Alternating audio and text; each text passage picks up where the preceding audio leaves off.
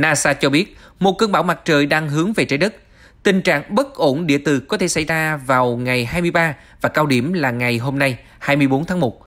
Cơn bão mặt trời này bắt nguồn từ một vụ nổ phun trào tia lửa mặt trời diễn ra ngày 20 tháng 1 và đạt cực đại vào lúc 7 giờ 31 phút sáng 20 tháng 1 tại Việt Nam. Sự giải phóng năng lượng từ trường đột ngột được tích tụ trong chuyển động liên tục của mặt trời đã gây ra vụ nổ. Ngọn lửa mặt trời hôm 20 tháng 1 đủ mạnh để gây ra sự cố hạn chế liên lạc vô tuyến tần số cao và mất liên lạc vô tuyến trong hàng chục phút ở một số khu vực nhất định.